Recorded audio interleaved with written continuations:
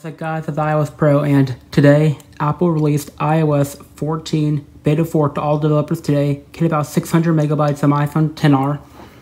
On my iPhone 11 I installed it.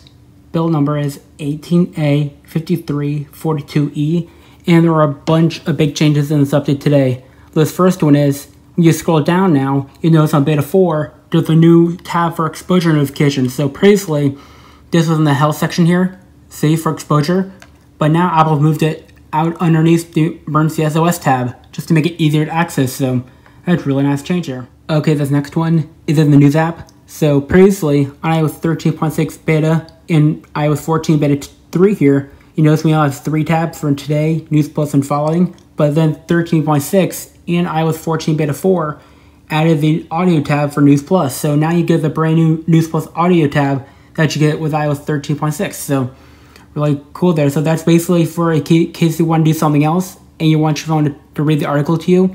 That's basically what that's for. So really cool.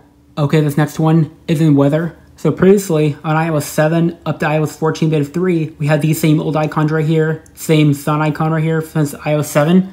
But now Apple's changed it. So instead of this sun on the left, they now moved it to the right.